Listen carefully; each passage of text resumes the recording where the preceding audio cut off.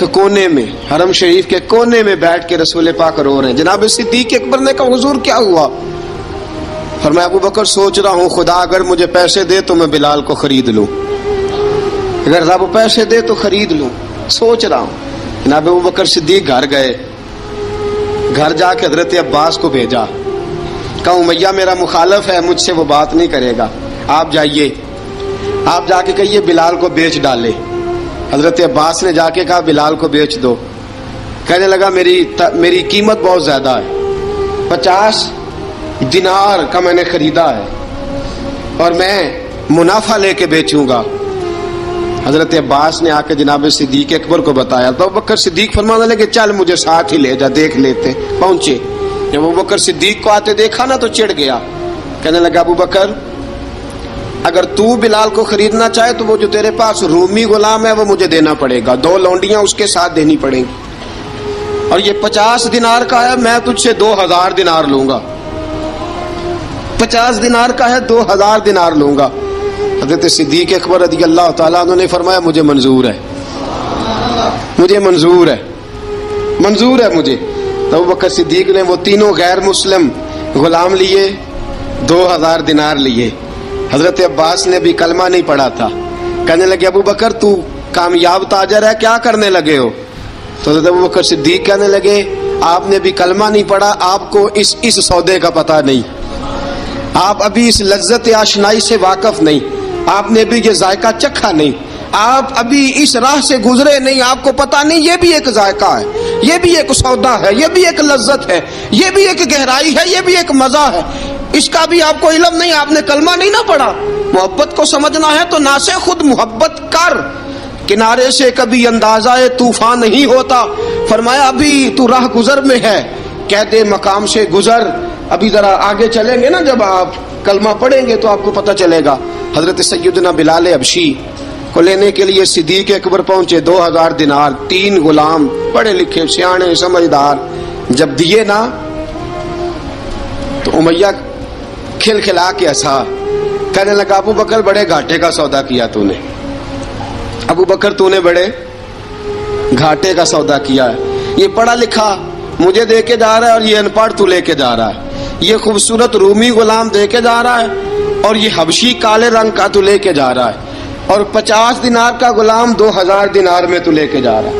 اتنے گھاٹے کا سودا، اتنی بڑی نادانی حضرت جناب سیدنا صدیق اکبر رضی اللہ تعالیٰ کہنے لگے، امیہ، تو کافر ہے، لیکن تو نے ابھی بھی پیسے تھوڑے مانگے ہیں۔ تو نے بلال کا رنگ دیکھا ہے، میں نے مصطفیٰ کے عشق کا رنگ دیکھا ہے۔ فرمایا، تو ابھی اس کے رنگ میں الجھا ہوا ہے۔ اور میں جو اس کے باطن کا حسن ہے، وہاں تک پہنچ گیا ہوں۔ حضرت سیدنا بلال ابشی رضی اللہ تعالیٰ عنہ ساتھ کھڑے۔ نابو بکر صدیق رضی اللہ تعالیٰ عنہ نے ارشاد فرمایا، اگر میں یمن کا حکمران ہوتا یمن کا بادشاہ ہوتا اور تو مجھے کہتا کہ بلال میں تب دوں گا جب تو مجھے یمن کی حکمرانی دے گا۔ فرمایا میں تجھے یمن کی حکمرانی بھی دے دیتا لیکن بلاد کو ضرور خرید کے لے جاتا۔ حضرت بلال ابشی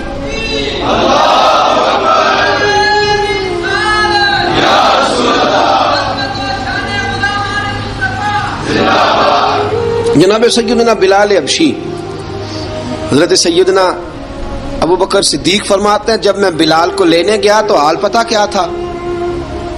ادھر دیکھیے گا۔ فرماتے کہ ٹانگیں اوپر کر کے نا، جس طرح آدمی رکوع میں بیٹھتا ہے، اس طرح کر کے نا ٹانگیں، اور سر پھر زمین کو لگا کے، اس طرح سجدے میں آپ جاتے ہیں۔ لیکن بالکل ٹانگوں کے ساتھ سر رکھ کے۔ فرماتے چار بھاری چکیاں۔ ریت پہ حضرت بلال تھے، ان کے اوپر چکیاں رکھی ہوئی تھی اور فرماتے حضرت بلال تھوڑی تھوڑی حرکت کرتے تھے تو وہ چکیاں جسم کے ساتھ لگتی تھی نا، پاٹ ان کے۔ فرماتے زخم بن گئے تھے، خون نکلتا تھا۔ فرماتے میں نے وہاں سے جا کے حضرت بلال کو نکالا۔ پیسے دیے، لے کے آیا۔ تو جناب بلال کہنے لگے، جلدی جلدی چلو حضور کے پاس۔ ذرا جلدی جلدی چلو، در مصطفیٰ پہ جلدی کرو۔ تو جناب سیدنا بلال ابشی رضی اللہ تعالیٰ عنہ کے جواب میں حضرت ابوبکر صدیق کہنے لگے، بلال جلدی نہ کر۔ جب میں آیا تھا تو حضور تیرے لیے آنسو بہا رہے تھے۔ اگر تجھے اس حالت میں زخمی دیکھیں گے تو میرے مصطفیٰ کو اور زیادہ رونا پڑے گا۔ تو میرے ساتھ گھر چل، میں تجھے کپڑے پہناتا ہوں، میں تیرے زخموں پہ پٹی کرتا ہوں۔ حضرت ابو بکر صدیق مزاج شناسائے نبوت تھے نا؟ فرمایا، چل میرے ساتھ، میں ذرا تیری مرم پٹی کر لوں، میں ذرا تیرا منہ دھو ڈال لوں میں ذرا تجھے کنگھی کر لوں۔ تو میرے ساتھ چل۔ جناب بلال فرماتے ہیں، جب سے پیدا ہوا تب سے غلام تھا۔ کبھی کسی نے میرے کپڑوں کی فکر نہیں کی تھی۔ مجھے تو امیہ چار چار دن روٹی نہیں دیتا تھا۔ فرماتے ہیں، جب میں گیا ابو بکر کے ساتھ، ابو بکر صدیق نے ایک چٹائی بچھائی۔ صدیق اکبر چٹائی کے اوپر میرے ساتھ بیٹھ گئے۔ فرماتے ابو بکر نے تیل منگایا۔ وہ تیل میرے زخموں پہ۔ ابو بکر صدیق نے وہ تیل میرے سر پہ، میری داڑھی پہ۔ فرماتے ہیں، پھر کنگا کیا۔ پھر ابو بکر صدیق نے ایک جوڑا منگایا۔ وہ کپڑے مجھے پہنائے۔ ابو بکر صدیق نے پگڑی منگوائی۔ وہ پگڑی کھول کے میرے سر پہ بندوائی۔ فرماتے ہیں، ابو بکر نے مجھے تیار کیا۔ فرمایا، تو آج جا رہا ہے در رسالت ماپ پہ۔ در رسالت ماپ پہ۔ آج تو پہنچ رہا ہے حضور کے دروازے پہ۔ بن کے جوگن مدینے نو جا مانگی میں۔ جو جو بیتی نبی نو سنا مانگی میں حضرت جناب سیدنا، اور وہ وہ کسی شاعر نے تو بڑی شاندار بات کی، اس نے کہا، بڑی امید ہے، سرکار قدموں میں بلائیں گے، کرم کی جب نظر ہوگی، مدینے ہم بھی جائیں گے۔ اگر جانا مدینے میں ہوا، ہم غم کے ماروں کا، مکینے گمبد خزرا کو حال دل سنائیں گے۔ حضرت بلال ابشی رضی ان کے دل میں بڑی امانگ تھی، آج جاؤں گا۔ در رسالت معاپ پہ ملا رومی لکھتے ہیں کہ جناب سیدنا صدیق اکبر نے سجایا سوارا جناب بلال کے آنسو رکتے ہی نہیں۔ کہا، باپ ہوتا ہے جو خدمتیں کرتا ہے۔ میں نے آنکھ کھولی تو باپ کا سایہ تو میں نے دیکھا ہی نہیں۔ اور فرمایا، ماں تھی تو ماں جب بھی مجھ میں کام کر کے آتا تھا تو مجھے دیکھ کے میری اماں بس رو دیا کرتی تھی۔ دو تین بہنیں تھیں۔ اور حضرت بلال فرمانے لگے، ان بہنوں کو میں دیکھتا تھا تو وہ میرا حال دیکھ کے روتی تھی اور جب وہ مجھے دیکھتی تھی تو میں رو دیا کرتا تھا۔ فرمایا، ابو بکر، میں نے تو یہ رنگ ڈھنگ دیکھے نہیں، جو آج تو مجھے دکھا رہا ہے۔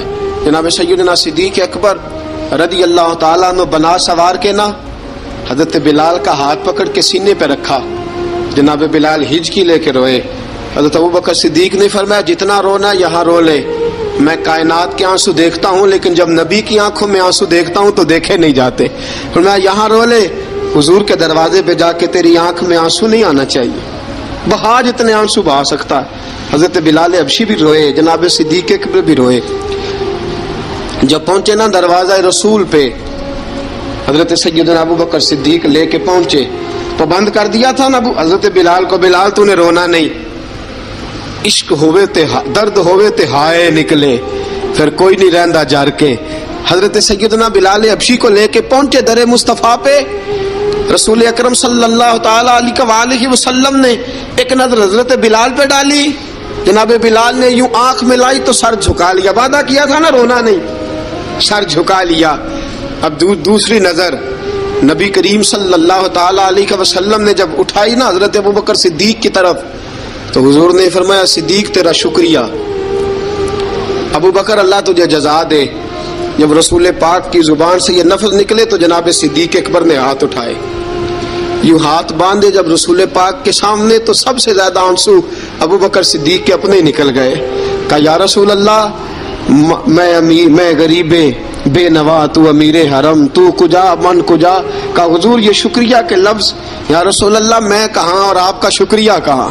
نبی پاک صلی اللہ علیہ وسلم نے فرمایا، ابو بکر، کاش تو تھوڑے سے پیسے میرے بھی ملا لیتا، بلال کو خریدنے میں میرا بھی حصہ ڈال لیتا، میں چاہتا تھا۔ ابو بکر پھر روئے، کہا، یا رسول اللہ، میرے پیسے کس کے ہیں؟ آقا، میں بھی آپ کا، یہ بھی آپ کے۔ جناب سیدنا بلال ابشی رضی اللہ تعالیٰ عنہ کی طرف حضور نے دیکھا تو فرمایا، بلال، آ یار، ذرا سینے سے تو لگ جا۔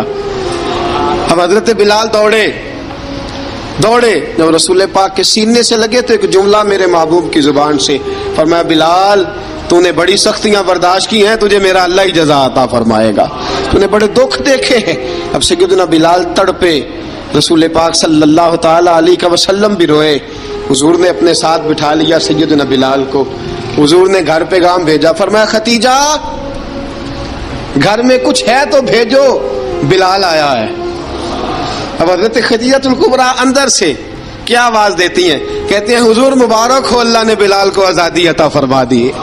وفاشار بیوی اندر سے۔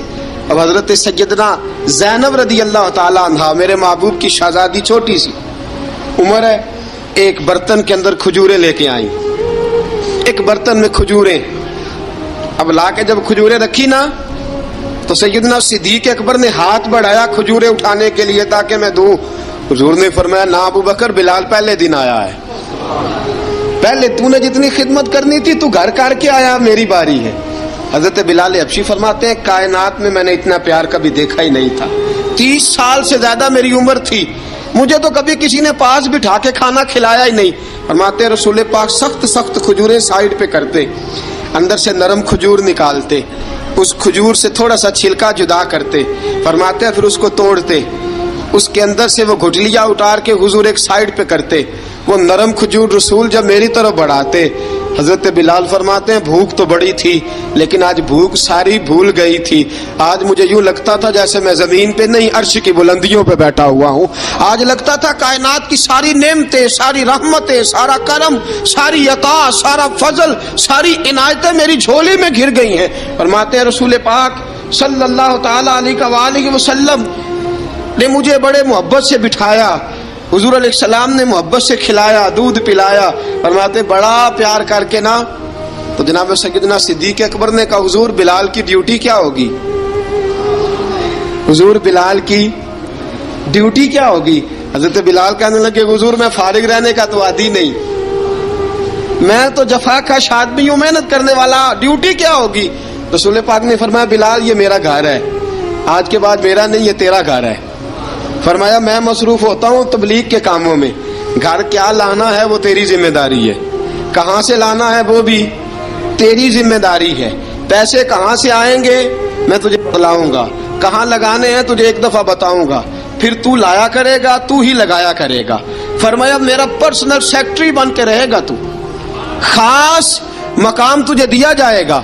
حضرت سیدنا بلال ابشی رضی اللہ تعالیٰ عنہ کو رسول اکرم صلی اللہ تعالی علیہ وسلم نے علم نے اس کام پر مقرر فرما دیا۔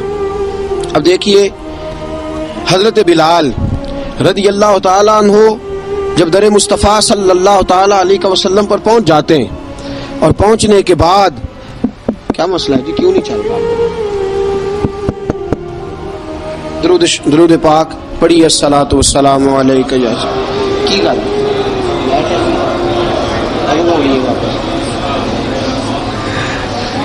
میں یہ گزارش کر رہا تھا کہ حضرت بلال ابشی رضی اللہ تعالیٰ عنہ کو رسول پاک نے یہ ڈیوٹی عطا فرما دی۔ اب پتہ کیا ہوتا؟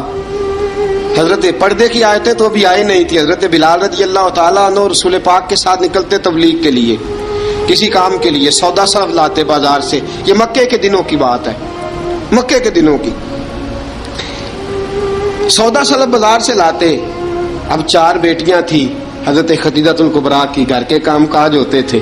جب ذرا فارغ ہوتے، دروازے پہ دستک دیتے۔ حضرت خدیجہ فرماتی، بلال تو آ گیا ہے؟ وہ دستک سے پہچانتی ہیں کہ بلال کے دستک ہے۔ بلال آ گیا کہا اما جی میں سارے کام کاج بار کے ختم کر آیا ہوں، گھر کا کوئی کام ہے تو ذرا مجھے بتاؤ۔ آپ فرماتی، گھر کے کام ہے پر میں کر رہی ہوں۔ اب حضرت بلال گلنا شروع کرتے، یہ ہے محبت۔ آج اگر ہم کہیں خادم ہو بھی نہ تو بہانے ڈھونڈتے پھرتے ہیں، فارغ ہونے کے۔ حضرت بلال فرماتے، آپ نے چکی پیس لی ہے؟ گھر میں جھاڑو دے لیا ہے؟ بچوں کے لیے دودھ آ گیا ہے؟ بکریوں کا دودھ دھو لیا گیا ہے؟ ایک ایک کام پوچھتے ہیں، حضرت خدیجت القبرا فرماتے، یہ بھی ہو گیا، یہ بھی ہو گیا، چکی رہ گئی ہے پیسنے والی۔ فرماتے، ذرا دروازہ کھول دو، میں پیس ڈالتا ہوں۔ حضرت بلال گھر کی چکی پیستے، گھر کے کام کاج کرتے۔ ایک دن نہ دار ارکم میں رسول پاک تھے تو باہر سے کچھ شورش ہوئی۔ حضرت بلال ابشی کہنے لگے، حضور ایک نیزا نہیں منگوا دیتے مجھے؟ ایک نیزا ساری دنیا حضرت بلال کو موزن رسول سمجھتی ہے اور ہیں بھی، لیکن حضرت بلال سب سے پہلے نیزا بردار بھی ہیں۔ سب سے پہلے نبی پاک کی حفاظت کے لیے نیزا جس شخص نے اٹھایا ہے، تلوار اٹھانے والے اور ہیں۔ جان قربان نیزا سب سے پہلے حضرت بلال کہا، حضور، ایک نیزا نہیں منگوا دیتے۔ بلال کیا کرنا ہے؟ کہا، یا رسول اللہ، یہ کافر ہلکی پھلکی شرارت کرتے رہتے ہیں۔ ذرا میرے ہاتھ میں نیزا ہوگا نا تو قریب کوئی نہیں آئے گا۔ یہ کرتے رہتے ہیں نا ہلکی پھلکی شرارت باز نہیں آتے۔ نیزا دے دیں گے نا تو قریب کوئی نہیں آئے گا۔ اب اب رسول پاک نے نیزہ دے دیا، منگوا دیا۔ اب حضرت بلال کے ہاتھ میں نیزہ ہوتا۔ رسول پاک کے آگے آگے چلتے۔ آگے آگے۔ آگے آگے۔ نبی کریم صلی اللہ تعالیٰ علیہ وآلہ وسلم دار ارکم میں جا کے تبلیغ کا کام شروع کرتے، تو حضرت بلال دروازے پہ نیدا لے کے کھڑے ہو جاتے۔ حضور نے فرمایا، بلال تو ادھر کھڑا ہو گیا۔ یا رسول اللہ، انشاءاللہ جب تک میں کھڑا ہوں، اندر کوئی کافر آ نہیں سکتا۔ اندر کوئی نہیں آئے گا، میں محافظ بن کے کھڑا ہوں۔ حضرت بلال ابشی رضی اللہ تعالیٰ عنہ نے ہمیشہ اور یہ نیزہ ہمیشہ پاس رکھا، بدر میں بھی عہد میں بھی، تبوک میں بھی، یرموک میں بھی، خندق میں بھی۔